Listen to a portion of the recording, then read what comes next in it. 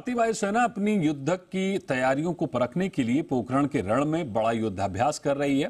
वायु शक्ति 2024 में वायुसेना के तर्कश में शामिल तमाम रणवीर अपना दमखम दिखा रहे हैं।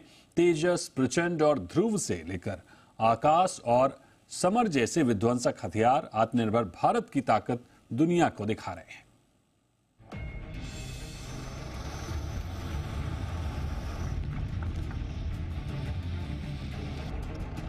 पोखरण के रण में महाबली, दुश्मनों में मची खलबली। हवाई योद्धाओं का वार, बीजिंग तक हाहाकार।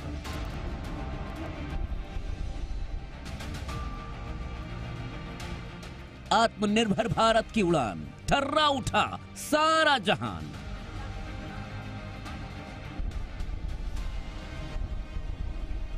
वायु शक्ति का दम, चीन पाकिस्तान बेदम।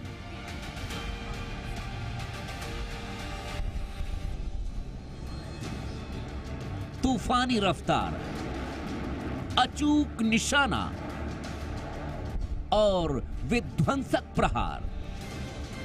दुश्मनों को थर्रा देने वाली ये तस्वीरें हिंदुस्तान की अतुल्य ताकत की गवाही दे रही हैं।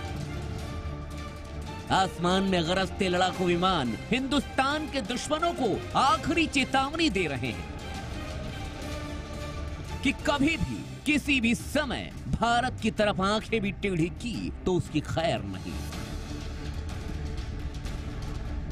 हिंद के शूरवीर देश के दुश्मनों को खाक में मिलाने नेस्तनाबूद करने के लिए पूरी तरह से तैयार हैं। आज यहाँ पोखरन रेंज में भारतीय वायुसेना अपना वायु एक्सरसाइज कर रही है।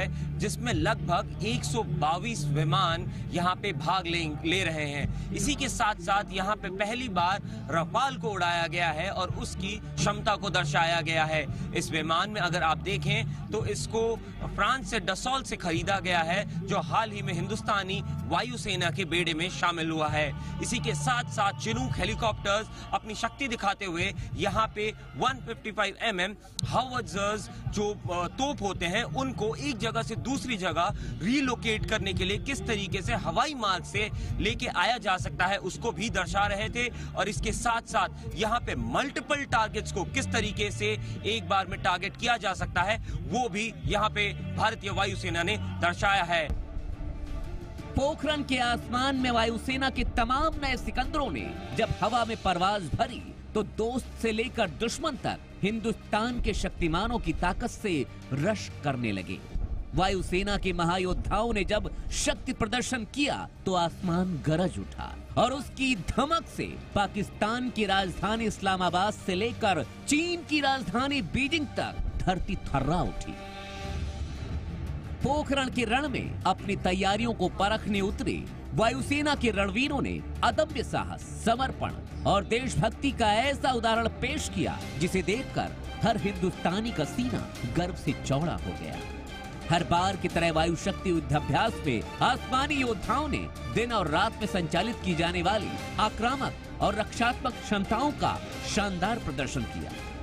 तपता रेगिस्तान हो या फिर बर्फीला पहाड़, वायु शक्ति अभ्यास में हर मौसम, हर हालात में दुश्मन को ढूंढ निकालने से लेकर उसे खाक में मिलाने की सटीक तैयारी दुनिया ने देखी। इस सबसे बड़े युद्ध अभ्यास में वायुसेना के तमाम वायुवीर योद्धा शामिल हुए।